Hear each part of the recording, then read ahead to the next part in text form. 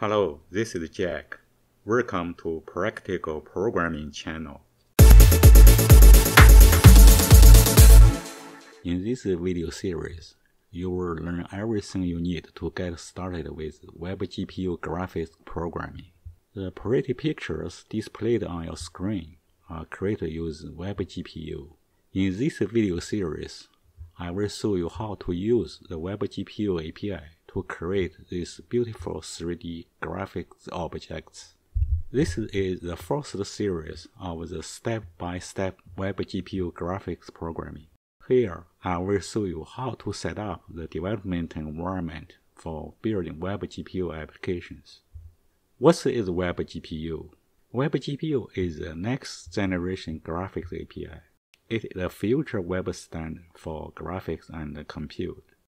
WebGPU will provide modern 3D graphic and computation capabilities with the GPU acceleration. In this video series, we will use the following development tools to build WebGPU applications. First is Visual Studio Code, Node.js. We will use TypeScript as our programming language, Webpack as our module bundler. And finally, we need to use Chrome Canary for displaying WebGPU applications. Since currently, WebGPU can only run on Chrome Canary, but not the regular Chrome browsers. Here, I suppose you already installed Visual Studio Code and Node.js, and also installed TypeScript globally on your machine. Now open a command prompt window and uh, make a project folder called GPU001 and cd into it.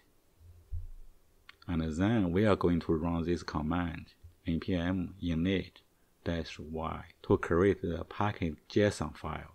This file will store our dependencies. Now we are going to install Webpack and its command line interface using this command. Uh, it will take a while to install Webpack. Webpack is a modular bundler that bundles relevant files together and generates a static asset that will be used by the web browser. Here we use Webpack mainly for transpiling a uh, TypeScript file and creating JavaScript bundle. But here we don't use it to bundle other types of file, such as HTML and image file. Now, the installation is completed. At this point, we are going to start Visual Studio Code with this command code dot. Here is our Visual Studio Code. Uh, you can close this uh, welcome page. You can see we only have package.json file, but not much happening here. Now open a terminal window. Okay, let's install several dependencies. First, we will install jQuery and corresponding types package. Use this command. We will use jQuery to manipulate the DOM elements in our applications. Next, we will install CSS and TS loaders in case if our project contains styling sheet file, we need to use the CSS loader to bundle them. In order to create TypeScript module in our project. We also need to install TypeScript locally. Use this command. Now open the package.json file. We can see the script section uh, only contains text attribute. That is not very useful. Here we are going to replace this uh, script section with this code. The replaced code allows you to run Webpack in different mode. For example, development, production, or watch mode. Now save this file and close it. Okay, now all the installed packages are going to be stored in this node modular folder. Here you can see all the installed packages in this folder. Another file called package This file is automatically generated for any npm operations, so we don't need to do anything with it. Next step is to initialize TypeScript with this command tsc-init. This operation creates a configuration file for TypeScript. Now open it and replace its content with this code. You can see here, we define the root directory as src, and we will store the JavaScript output file in the dist folder. We set the target to ES6 standard. This means we don't need the Babel compiler to convert modern JavaScript to run in old brochures. This is because WebGPU application can only run on modern brochure anyway.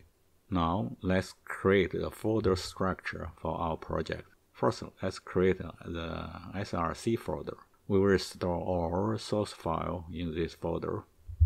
Next, we create the dist folder that will be contain all files that will be uploaded to the web server for running our application. In this folder, there's at least one HTML file let's add the index as HTML file to this folder and replace its content with the following code. Here we add 1 to the title because this is the first video series. Next, we add the title check web GPU to H1 element.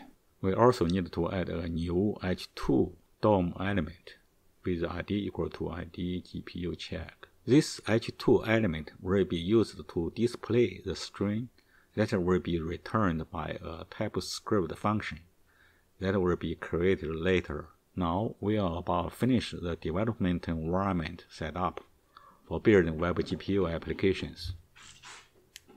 But we have missed a key step. That is, we need to install the web GPU package. Web GPU working group have created a TypeScript type definition for Web GPU standard. This package matches the work in progress Web GPU API, which is currently unstable. This API changes almost weekly, so be careful to use it. Anyway, let's go ahead to install it with this command.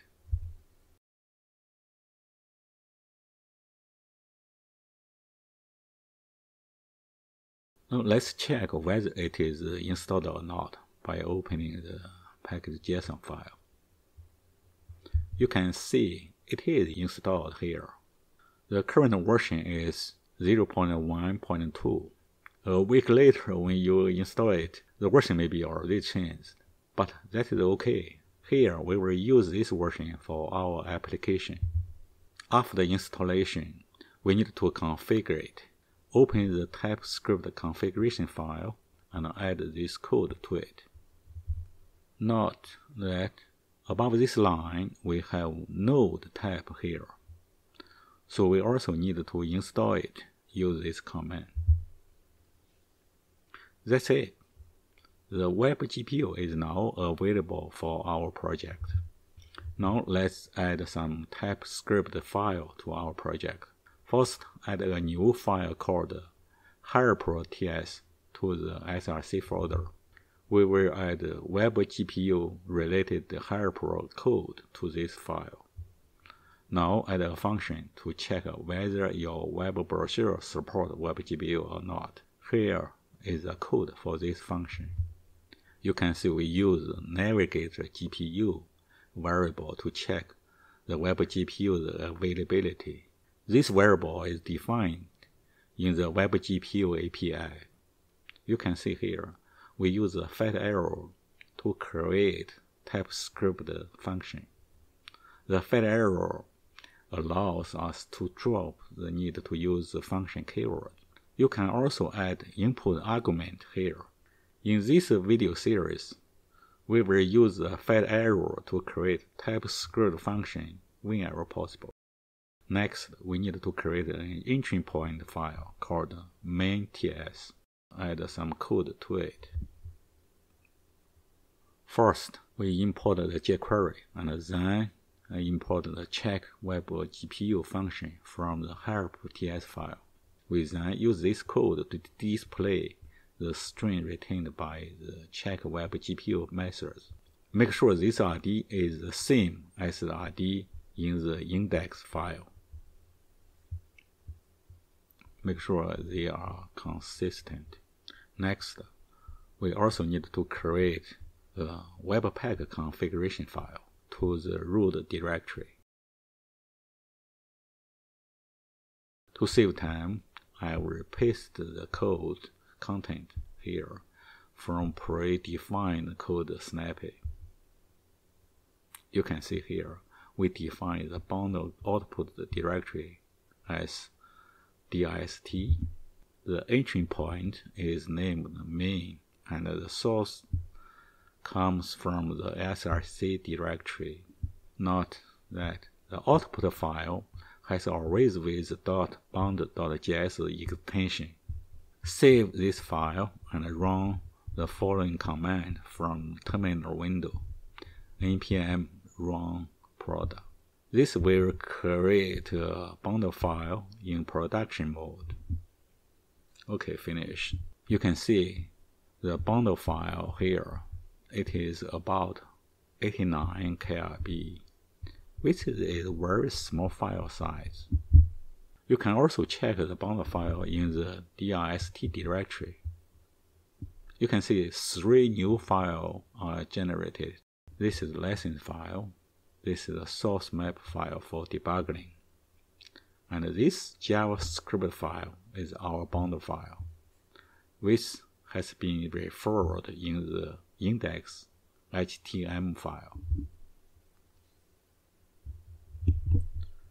To test our application, we also need a server. Here, we will use a live server extension. Click on the extension link in Visual Studio Code and search for live server. Here it is. I already installed it on my machine. If you didn't, there will show uh, a install button here. Please click on the install button to install it. Now open the index.html file. Right click it and select open with live server. This will open your default browser to display the web page. Unfortunately, if your default browser is a regular Chrome or Edge, it will display the message your current browser does not support WebGPU. In order to run WebGPU application, you need to install Chrome Canary. Search for Chrome Canary from your web browser. Click on this link. It says Chrome Canary is a nightly build for developer. Click on the download Chrome Canary link and then download and install it following the instruction. Please remember the installation location. You will need this location to configure your Visual Studio Code. Now we go back to Visual Studio Code. We want to change the default browser to Chrome Canary which will be easy to test our web GPU application. Press F1 key and tap Preference, and then select Open Setting JSON. This will open the setting JSON file. This three line of code to configure the live server. Here, the attribute Advanced Custom Browser CMD line define the default browser for Visual Studio Code. This is the file location on my machine. You need to copy your Chrome Canary exe file location and paste it here. You must change it to match your situation. The next line don't show info message. Really doesn't matter. I just set it to true. The third line is root attribute. I set it to dist folder because our index HTML file is located in this directory, so it will automatically start our application when starting the live server. Now save this file and close it. Okay, finally, we can test our development environment for WebGPU application.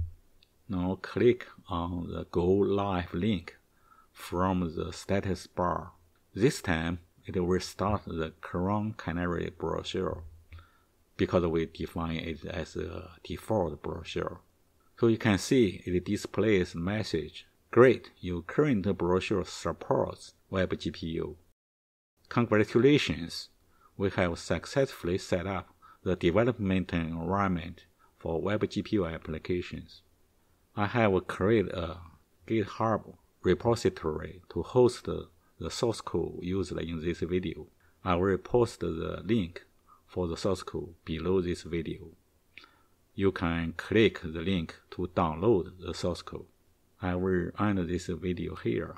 In next video, I will show you how to create a simple web GPU triangle and this development environment. See you next time. Bye.